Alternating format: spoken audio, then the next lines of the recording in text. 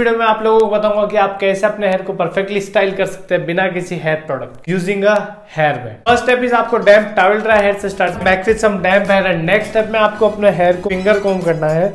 Opposite direction में, इस direction में वो ग्रो होते हैं। तो मेरे hair right to left grow होते हैं। तो मैं अपने हेयर को लेफ़्ट टू राइट कॉम करूँगा अपनी फिंगर्स नेक्स्ट स्टेप में आपको एक हेयर बैंड लगाना है अपने हेयर के ऊपर। स्टेप में हमें अपने हेयर को एयर ड्राई होने दें। मेरे हेयर पोजीशन पे ड्राई हो चुके हैं। नेक्स्ट स्टेप के अंदर आपको जो हेयर बैंड है, उसे स्लोली स्लोली रिमूव करना है लाइक दिस हेयर बैंड को रिमूव करने के बाद आपको कुछ ऐसा रिज़ल्ट देखने को मिलेगा। एंड नेक्स्ट स्टेप में अपने हेयर को नेचुरल डायरेक्शन में शिफ्ट करना है लाइक दिस मेरा फाइनल रिज़ल्ट जैसा कि आप देख सकते हैं, मेरे हेयर कंप्लीटली पोजीशन पे है।